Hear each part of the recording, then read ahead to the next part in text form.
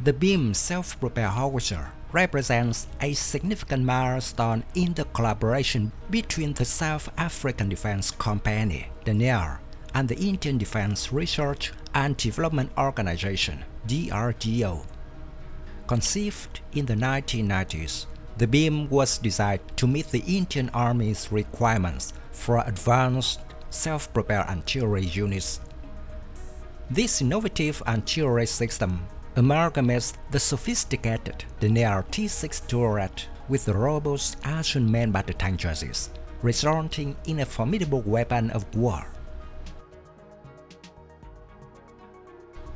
The development of the Bhim artillery system began in the earnest in the 1990s under the supervision of DRDO.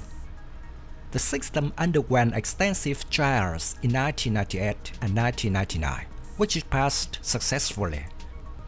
These trials demonstrated the system's efficiency and potential to fulfill the Indian Army's need for modern self-propelled artillery. Despite the successful trials, the project was paused for over a decade due to Denel being blacklisted by the Indian government.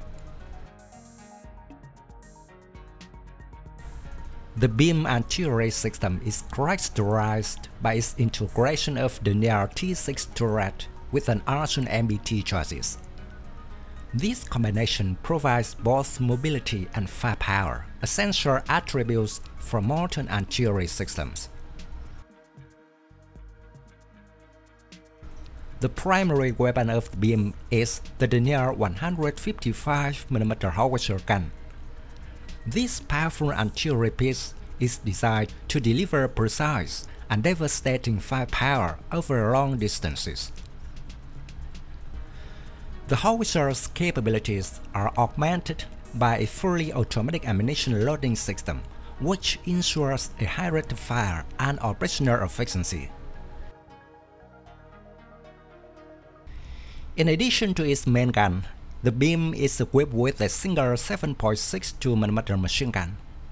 This secondary armament provides additional defensive capabilities, allowing the Bhim to protect itself against close-range threats. The Bhim artillery system is powered by a turret-mounted auxiliary power unit. This unit powers all the onboard systems, ensuring that the Bhim remains operational even if its main engine is disabled.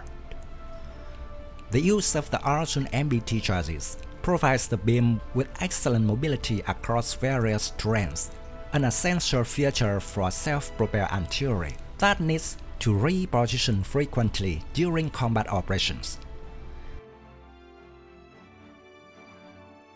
The Indian Army initially projected a requirement for 400 mounted 155mm howitzers.